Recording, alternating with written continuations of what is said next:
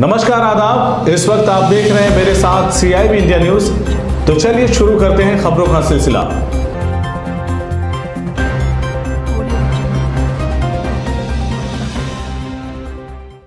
कन्नौज ज़िले में किसानों को खाद की समस्या, धान की खरीद अभी तक शुरू नहीं हुई। इन सब समस्याओं को लेकर कलेक्ट्रेट परिसर में सैकड़ों की संख्या में सपा कार्यकर्ताओं ने जमकर प्रदर्शन किया। प्रदर्शन के दौरान सपा कार्यकर्ता, सरकार विरोधी नारे लगाते रहे। प्रदर्शन के दौरान सपा के सांसद प्रतिनिधि नवाब सिंह ने डीएम रविंद्र कुमार को राज्यपाल के नाम संबोधित ज्ञापन सौंपा। ज्ञापन में सपा नेताओं ने कहा कि डीएपी एनपीके खाद के मूल्यों में बेतहाशा वृद्धि की गई है, जिससे गरीब किसानों के सामने बड़ी समस्या उत्पन्न हो गई है। सहकारी समितियों पर किसानों को समय से खाद नहीं मिल पा रही है।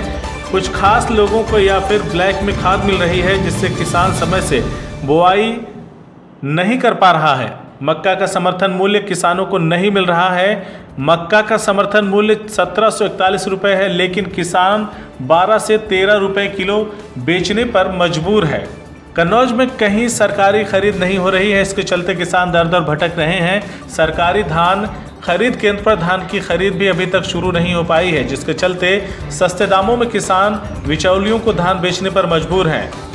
और साथ ही आवारा जानवर लगातार किसानों की फ़सलों को नुकसान पहुँचा रहे हैं। किसान इससे भी परेशान हैं। सपा के सांसद प्रतिनिधि नवाब सिंह यादव ने कहा कि अगर सरकार किसानों की समस्याओं को दूर नहीं करती तो आने वाले समय में सपा कार्यकर्ता और बड़ा आंदोलन करने को बाध्य होंगे।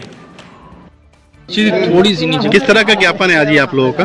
आप देखें कि खाद पहली बार तो इतनी महँगी कर दी गई। 400 बोरी डीएपी एनपीके पे बढ़ा दिए गए।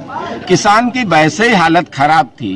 खाद की महँगाई से और स्थिति खराब हो गई है और खाद मिल नहीं रही है सरकारी समितियों पर ब्लैक हो रही है। कुछ लोगों को खाद मिल रही है जो सत्ताधारी लोग हैं आम किसान परेशान है। दूसरी बात मक्का की अभी तक कहीं पे खरीद सरकारी नहीं हो रही है। मक्का का रेट जगह जगह पोस्टर बड़े बड़े लगा दिए कि मक्का का मूल्य सत्रह से इकतालीस रुपया। किसानों से पूछो जाके कि उसे बारह तेरह रुपए में बेचनी पड़ रही है। यही स्थिति धान की है। धान की भी खरीद कहीं नहीं हो पा रही। का पहले का चौबीस तारीख से होगी, अब कह रहे आज से होगी, लेकिन ना आज और ना कल। अवारा पशुओं की स्थिति ये है कि किसान किस तरीके से फ़सल को तैयार करता है, कर्ज लेके खाद डालकर, और वो पशु पशु जो सारी फ़सल खा के चौपट किए दे रहे हैं। तमाम किसानों की समस्याएँ हैं। खाद, बीज, बिजली नहीं आ रही है। इन समस्याओं को लेकर हम लोग आज ज्ञापन दे रहे हैं। आज तो सांकेतिक धरना प्रदर्शन है, लेकिन अगर इन समस्याओं का समाधान न हुआ, समाजवादी पार्टी सड़क पर उतरकर किसानों की लड़ाई लड़ेगी। हमारी खबर अच्छी लगी तो खबर को लाइक करें शेयर करें और चैनल को सब्सक्राइब ज़रूर करें। साथ ही स्क्रीन पर दिख रही घंटी को दबाएँ ताकि आप तक हमारी सभी खबरों के नोटिफिकेशन पहुँचते रहें।